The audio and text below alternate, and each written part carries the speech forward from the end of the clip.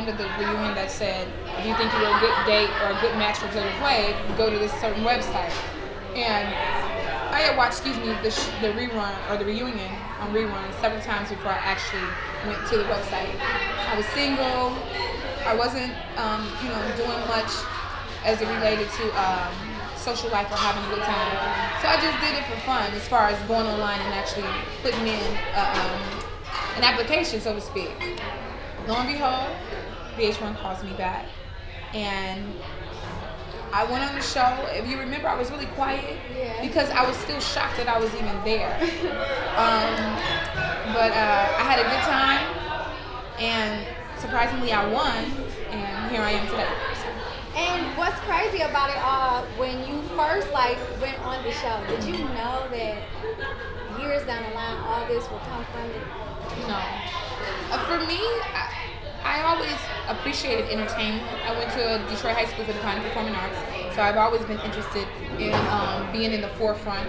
You can't go on a reality show and not be interested. A lot of people say, "Oh my God, if they're on reality TV, they're attention whores.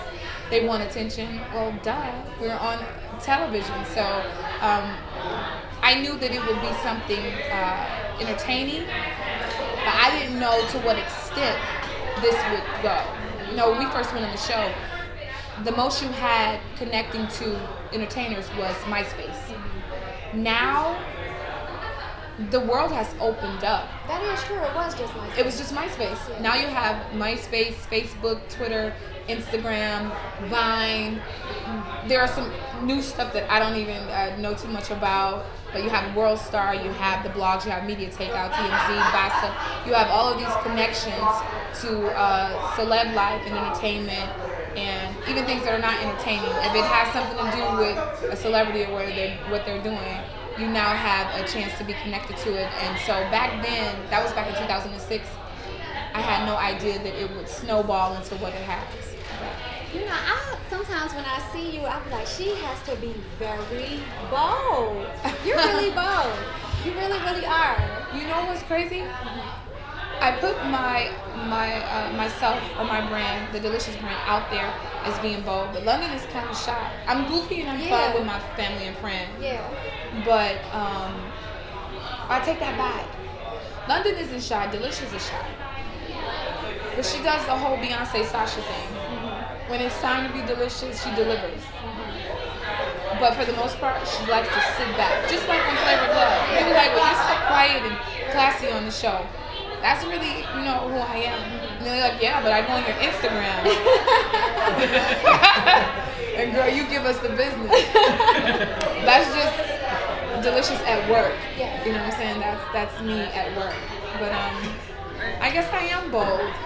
I am. Let's talk about you being at work. Right now, I'm starting to see quite a trend with young women and just urban modeling, different levels of urban modeling. Is there a right or a wrong way to do it?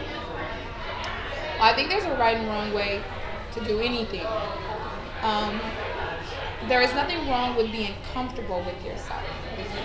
There is something wrong with compromising what you find comfortable with yourself. So for me, if you see me do it, especially now, maybe in the beginning, I compromised because I didn't know any better, or I didn't know what I had to do to maintain. But if you see me doing it now, it's not a wrong way to do it because I'm comfortable with it. I am so comfortable in my skin. Um, I'm 30 plus years old. No, I'm not over 35. And no, I'm not under 31. I'm 30 something. I'm 35.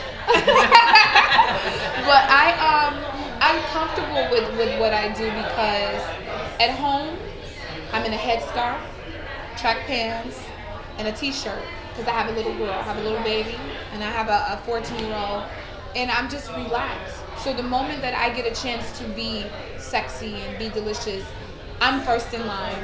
I want the shortest dress. I want the tightest pants. I want the skimpiest look. I just want to look sexy. I don't want to look like mommy when I'm being delicious. Right. I want to look delicious. I went and got my boobs done. Um, tell it. I, I did. I went and got my boobs done, and I, I like them. They're nice. I don't have to wear a bra, so I, I like that. Before I had to always have on some type of lift because they were Uh-huh. like down to my, my stomach. And so people talk all the time, well, she got her tummy tuck. No, I didn't get my tummy tuck, but I don't oppose tummy tucks. Let me say this. Okay. I am not against surgery, and I didn't get my butt done. Actually, my butt used to be bigger. because you've known me for a very long time. Before the show, have I always had this butt? Yes. I've always had a big butt. So when people say, "Well, her butt is fake," well, that means I'm doing a really good job, and it looks extra because you believe that it's something abnormal. I'm okay with that. But you know what? Me and you, we talked about this before. Like, Yeah. in Detroit, it's really not It's normal here. Yo, my hairstylist is here. Her name is Just Jazz. I swear to God, she has a rump roast that looks like something on Thanksgiving, but it is all hers. Yeah. It's a Detroit thing. I mean, we have always had this thickness. Now, it has become a phenomenon where girls want to go and enhance it. I do do things to um, exaggerate it because it's become such a phenom. When I was on the Flavor of Love, I was known as the girl with the butt, but it wasn't a big deal then. Right. Now it's a big deal, and it's like, well, is that hers? Because so many people have, To enhance it. yes. Yeah. And so I'm, I'm over it though. I mean, it's I, I get it everywhere I go. I just pat her on the back and say, you must be really, you know, about something because it's always a topic. Yeah. But they need to go into um, my family history, and they'll see all the wide loads that I follow. These wide loads that came before me. so I mean, I, no big deal. But I'm not against plastic surgery. Uh-huh. If this thing drops, I'll be the first to tell you guys I'm on my way to get a Brazilian butt lift. I have no problem with it. I have seen Dr. Curves. You follow him? No. Dr. J Curves? Oh, he's I, the I, truth. I've never really get into it. I, I followed him because he did some work um, on television for Shekinah at the uh, T.I. show. yeah. Who I love, I love Shekinah. love the whole show. Shout out to T.I. and Tiny. But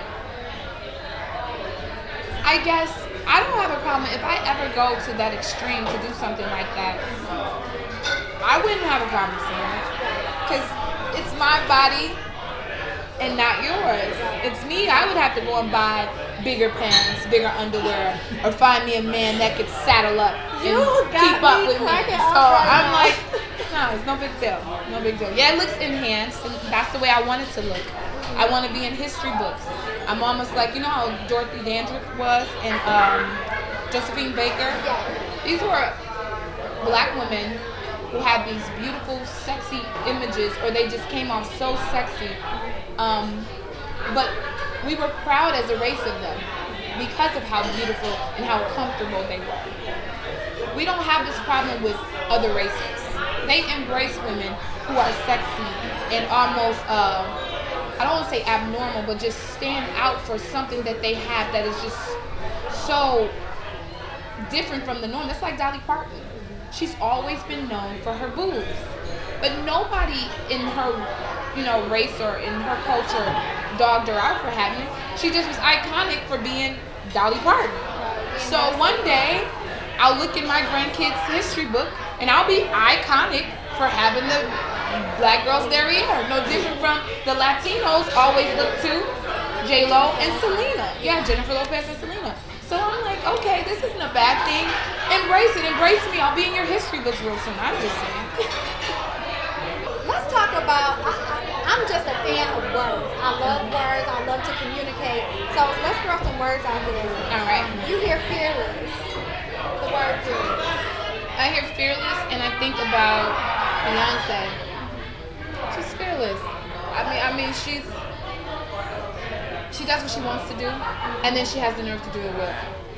I just that's what comes to mind when I think of her. I know you've heard me mention her name a few times in this interview. Let you know that's like my idol. and now that she's a mom, she's joined the mom team. Yeah. Like she's she's really fearless, and, and, and also with fearless, I think about um, women from Detroit, and I'm from Detroit.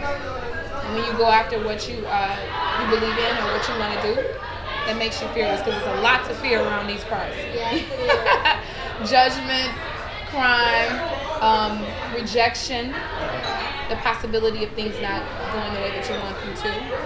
Um, so I guess I can equate fearless to myself. Maybe not. Maybe not, because I I fear things sometimes. What do you fear? Um, honestly, that that I may die or perish and not win everybody over. Isn't that crazy though? That's really crazy because that is so that's un that's unreal. That's unnatural. You can't possibly. Yeah. My brother just stepped in. I'm sorry. It's okay. So that's unnatural to get everybody to like you. But I feel like you know, fuck with me. Excuse me. I, I mean, I'm like cool people. So I guess that's my goal.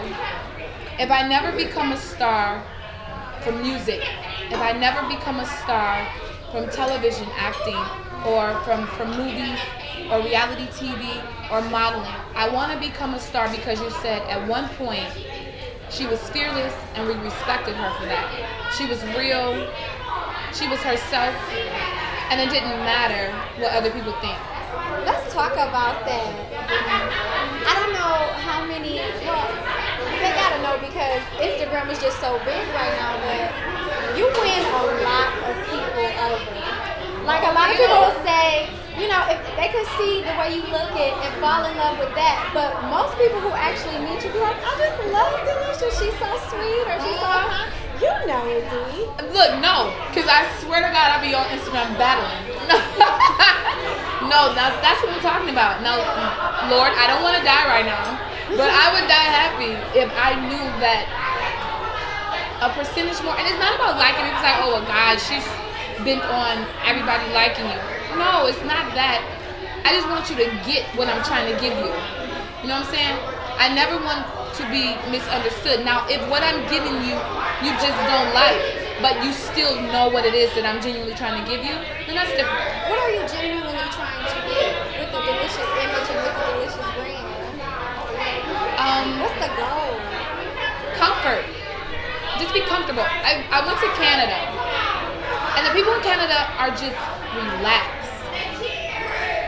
Um, have you ever been to a nude beach? No. Okay, so I went to Jamaica. I had to do a shoot for Smooth Magazine at Hedonism. And I was so pent up. I was almost, it was like the flavor of love all over again. I was I was there with a bunch of models and, and the magazine, and I kind of clammed up because at any given moment, somebody's twigs and berries are hanging and they're walking past. And it's everybody is comfortable. Fat people, short people, skinny people, tall people. And I was so nervous. So for the first day or two on the island at this resort, I stayed in my hotel room. And what's weird, they make sure that the hotel has no drapes, no curtains or whatever, because this is supposed to be a nude resort. Right. And so I watched, kind of awkward, but then by day two, I kind of relaxed. And the people there were so real and so comfortable and so happy and perverted. How could you not be? Everybody's nude in, in freaking Jamaica. But it was a perversion that I could be okay with. Because they didn't come on to you unless they knew that you wanted them to. But I guess the whole thing that I took from it was there was no judgment. As long as you weren't hurting, like I said, they didn't come on to you unless you wanted them to. Okay. They didn't offend anyone. So that's my thing with Deelishis. I don't post sexy pictures to offend you. I post sexy pictures to, hey, turn you on. I hope. I hope you like it. If you don't, okay, you pass. No problem. You can pass on the picture. But if I take a picture and I'm turning around looking at my butt, I obviously liked my butt in that picture. If I take a picture and I'm going to kiss I obviously like my lips or the shade of my lipstick. You know what I'm saying? I was comfortable with whatever I did in that photograph or whatever I said in that caption. And I just want you to respect me being comfortable with it. And my intentions are not to offend you. And my intentions are not to offend my children. My children are fabulous. my 14 year old is the bomb. If I can say she's the best 14 year old I know, I'd be lying. But she is my best 14 year old. Straight A student. This last report card marker, she did get a B. I was a little disappointed because she's always been straight A's. But it's high school and it's a change, so, you know, we'll work at it. But my two daughters are well rounded. They're happy. They're loved. Um, my daughters are in Christian schools. They believe in God. They know how to treat people. They're respected by anyone who meets them. They're respectful to people that they meet. My family loves me. My friends love me. Like you say, in most cases, if you want to hate me, don't meet me. to see if I meet you, Yeah. you're gonna love me. so I won't have no other way. Yeah. So that's that's all I want. I guess I just I want when I give them me, I want them to just relax and receive it. Find the enjoyment in it. It's like I went on a date. I was being a bitch because my date took me to a museum. I'm like Negro. I haven't had sex in six months, and I haven't been on a real date and I don't know how long. I'm not gonna say it on camera. It's embarrassing. So our first date, you want to take me to a freaking museum? There are not gonna be fireworks. Fireworks in this relationship is what I was thinking. Right. So he stopped me in the middle of us walking through the museum and said, "Are you serious?" He's like, "Look around you. Look how awesome this stuff is." So I had to stop and I looked around and it was really, really nice. There was nothing wrong with the museum, and I thought it was boring. It was stupid for him to bring me here. I'd never gone here before. This ain't what I do. But then after I actually sat down and not um, had a preconceived notion for what it was, now I love museums. So is it like a thing where you're trying to say just try to find the beauty of things and just be Yeah. open and be more positive? Yeah. Now, now, I don't want my dates to be at museums. don't get me wrong. But I'm not opposing it either. So that's what I'm, like, I'm like, you know what? What is that? Is awesome. I there's something so good about that. Like, how could you? What is wrong with that? For women who say, "Oh, I see her butt," I do too. I looked at it in the mirror before I put it on the camera, and it was so nice. Like these are fake, but these are so nice. How could you not like my boobs? How could you not like my butt? Oh my god, I'm gonna make you touch my butt. I might be going too far. Next interview. No, you're totally fine. But I, I get what you're saying. It just seems like you're very comfortable with who you I. And I guess what I'm really saying is I just want people to see a different side to you because it's not just always about the body or It's about the sexiness or whatever. Like people don't even know how many people know that you graduated college. Hello, here. I'm a college graduate. So English education.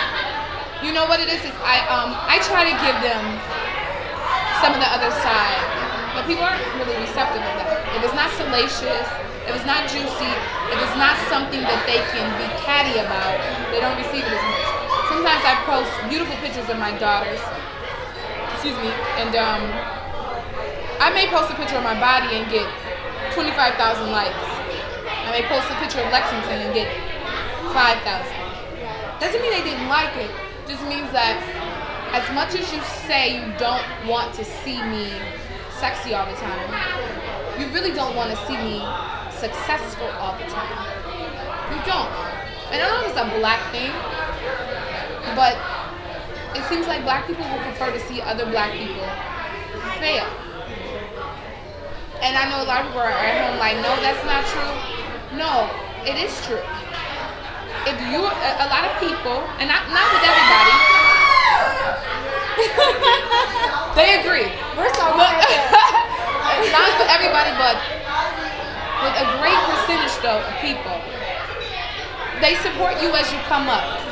But oh, if you start going too far, then they start to compare themselves, and they get a little uneasy or uncomfortable. Especially if you're if you're like me, if you're the girl next door, or you like the girl next door, how dare you think that you're gonna be a singer too? You already did reality TV, and we let you do that.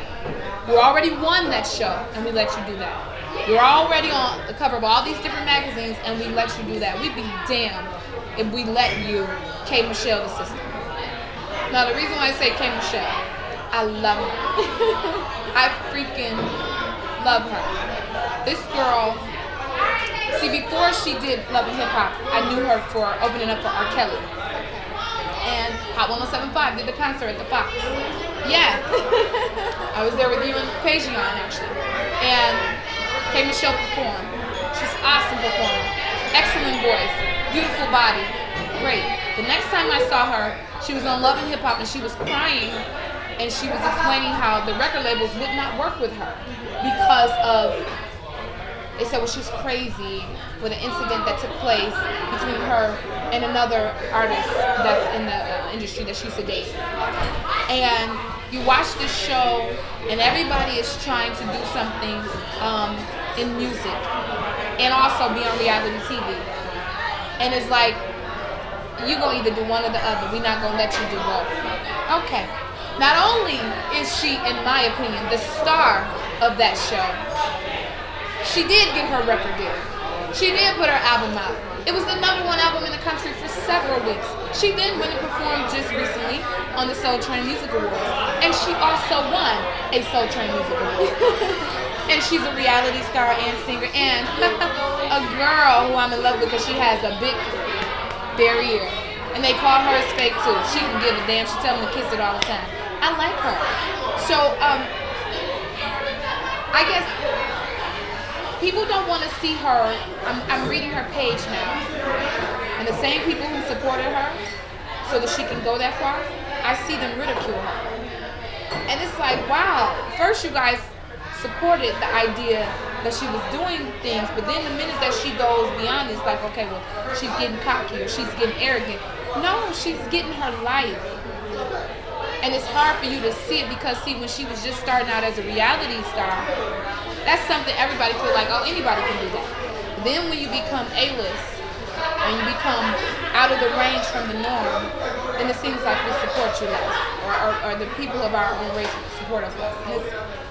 It's bad, but that's the truth. I think that one thing that can be very universal, whether you want to do modeling, or singing, or if you want to go to school to be an English teacher. You sat here and you said something that was very key when you said, I had to stop. I don't give a damn.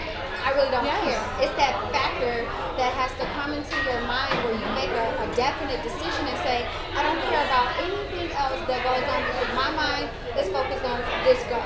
So for your end, it probably is urban modeling or whatever, but that's your goal. And you set aside to do that and you said to yourself, well, I, I don't care. This is what I want to do for my life so I can be comfortable with myself. And you know I don't want to be a model? what is it? I, I- that, that happened.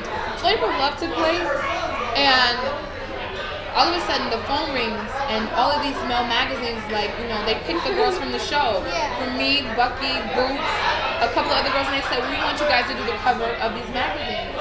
And naturally, we were excited. Like, this is new. It's like, okay, yeah, I'm a model. Or I can model for this magazine. It's like, okay, cool, I'll do it. And then the next magazine calls, and then the next magazine calls, and you have calendar shoots, and you have videos or whatever. And then all of a sudden you have the title of being a video vixen or urban model. I don't mind the title, but that was never the goal in mind. You know what I'm saying? Like like you said before, in Detroit having a big butt was normal. Like you, they're everywhere. Everybody is something in the Belle Isle water. I don't know, but it, it. I mean, it was so. When people wanted to shoot me because of it, I'm like, oh my goodness, I was just another number at home. Now someone's trying to make me number one for having something that I've had forever. You know, so that's how the modeling thing took place. But that was never a goal. Heck no, I like fried chicken and pepperoni and cheese pizza and cranberry Hennessy and no model is drinking this. You That's are the type of telling all, all I know. behind They- the scenes. They want to know where all the juiciness came from. No, I don't. I don't profess to being a model. I've done it and I do it, and I think it's a, a beautiful thing. Like I said, I get psyched out when I get a phone call and say, "Well, they want you to be in this video," or "They want you." I'm like, me? Okay, where do I sign up? You know, I get excited. That's not what I want to do. I want to do my acting Where can we see? Where, where are we going to see you soon? Like, uh, within the next five years, where are you going? I don't know. I don't do those. I don't do New Year's resolutions. I guess they're supposed to be healthy, so you can set a goal for the year. But I really have never been one to do that. That kind of stuff depresses me because whatever I said five years ago, if I'm not there right now, it's like that sucks. Five years ago, I said that I was gonna have an Oscar. I don't even have a Grammy. So I didn't want to set myself up for that. So I couldn't tell you what I will be doing in five years. I never thought that starting Flavor Love in 2006 to that I would still be relevant like this now. So, but it all came from just going with the flow. So I go with the flow. Of course, I do. I want to do my music. I love singing. I love singing. I just like that's my number one passion. I like to write the music, and then I like to to record it. So I promise you, you will hear music from me. I know I always say that to people like, I'm gonna give you some music. I promise you I will. It's just about having the right project. I remember I did Rum that, that was just having fun. That was a fluke. It was something that I did because it was just right in front of me and we were in the studio and it was funny. But it took its own snowball effect and became what it became. But in the same token, as much as people still hit me up and say, oh my God, I'm still rocking the Rum Shaker, I hate the sound of it. Like, I'm like, don't play that again. you know, I walk in the club and they intro on me. Deelishis is walking in, guys. Let's give it up for Deelishis. And I hear, hi, girls, make. I'm like, no, I will not come in the club if you play that song. Turn it off right now.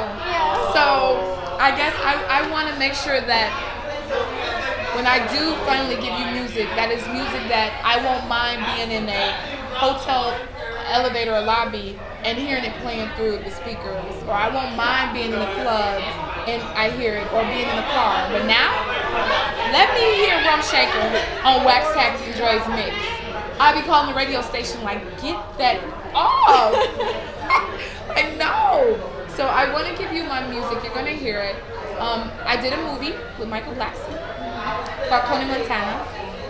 I've done so far four different films, but that is by far my favorite. Kamal Smith, I love him. I've done I've done a couple of films with Kamal also, but um, I was the lead for Coney Montana, and it's um it's a major major motion picture, and it will be out really soon, and so I'm looking forward to you guys seeing it because it's like um I play a big role, and I like the fact that the producer and the director they were they allowed me to be me with no holds barred. You know, sometimes I go in there on set and I'm in the bottom of the totem pole. Like I'm at the bottom of the totem pole because there's all these other actors and stuff like that that are on set.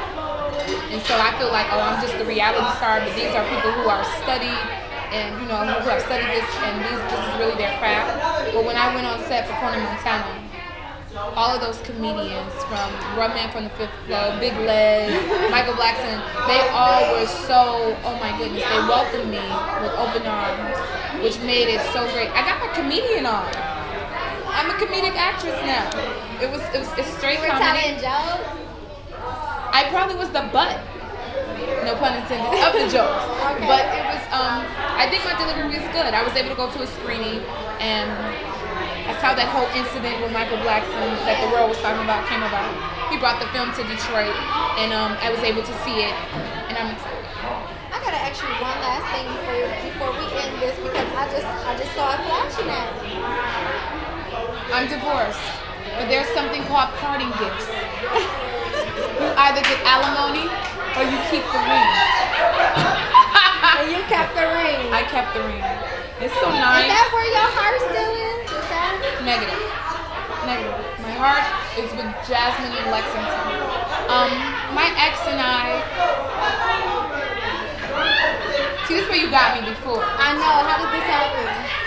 My ex and I, um, I was head over heels I know. I with him. remember. Yes. I had a baby after 11 years. I would have been done. Out the house in a few years. So for me to lay down and say, okay, I'll give you a baby, I had to be really in love. Especially in the middle of the height of, of my reality star career. after Flav, I dated Busta Rhymes for a year, and then I went straight into my relationship and into my marriage, and I didn't I didn't do any uh, any dating because I was good. I was ready for the picket fence, the babies running around, my husband, and my comfortable life.